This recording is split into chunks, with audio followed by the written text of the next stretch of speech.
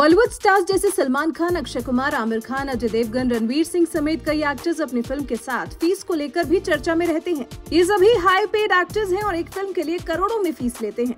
लेकिन कुछ south Indian actors के सामने इनकी फ़ीस कुछ भी नहीं है।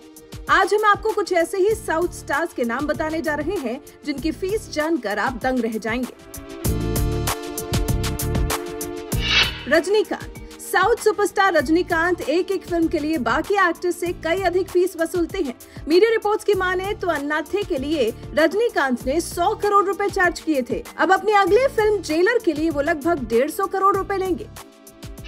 Kamal Haasan Indian film industry में अपनी अलग पहचान बना चुके कमल हासन ने कई ब्लॉकबस्टर फ़िल्में दी हैं। हाल ही में कमल ने लंबे समय के बाद फ़िल्म विक्रम के साथ फ़िल्मों में धमाकेदार वापसी की है। इस फ़िल्म ने बॉक्स ऑफ़िस पर धमाल मचाया। मीडिया रिपोर्ट्स के मुताबिक कमल हासन ने अपनी अगली फ़िल्म के लिए डेढ़ करोड़ रूपए चार्ज किए हैं। विजय थालापति साउथ इंडस्ट्री के जाने माने एक्टर विजय ने मास्टर समेत एक के बाद एक कई हिट फ़िल्में दी हैं। बेहतर फ़िल्में देने के साथ साथ विजय अपनी फ़ीस भी बढ़ाते रहे। रिपोर्ट्स के मुताबिक विजय अपनी अपकमिंग फ़िल्म वरिसू के लिए 120 करोड़ रुपए लेने वाले हैं। वो अब तक 60 से ऊपर फ़िल्में कर चुके हैं। बताया जा रहा है कि सड़सठवी फ़िल्म के लिए वो 130 करोड़ रुपए चार्ज करेंगे। अलू अर्जुन साउथ सुपरस्टार अल्लू अर्जुन जो बीते कई दिनों से अपनी फ़िल्म पुष्पा को लेकर सुर्खियों में है, काफ़ी ज़्यादा फ़ीस चार्ज करते हैं। जल्द ही वो पुष्पा के सीक्वल में नज़र आएँगे। बताया जा रहा है कि इस फ़िल्म के लिए एक्टर 120 करोड़ फ़ीस चार्ज करने वाले हैं। प्रभास, बाहुबली टू जैसी सुपरहिट फ़िल्म देने के बाद प्रभास ने अपनी फ़ीस बढ़ा दी है। एक्टर एक फ़िल्म के लगभग 100 करोड़ रुपए चार्ज करते हैं।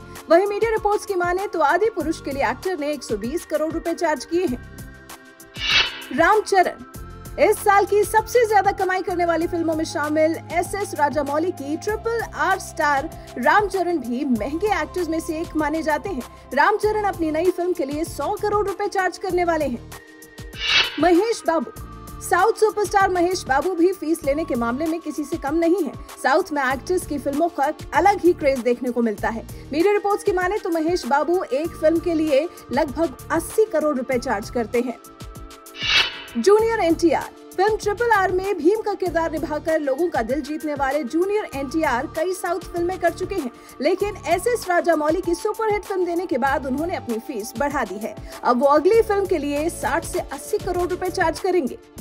तो देखा आपने, ये थे वो साउथ स्टार्स जो कि सबसे ज़्यादा फ़ीस चार्ज कर रहे हैं। वैसे आपका इस खबर पर क्या कुछ कहना है? अपनी राय हमें कमेंट कर ज़रूर बताएँ।